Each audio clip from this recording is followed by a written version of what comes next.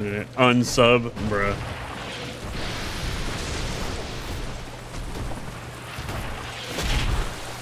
What was that? Get that Marvel vs. Capcom hitbox out of here, bro.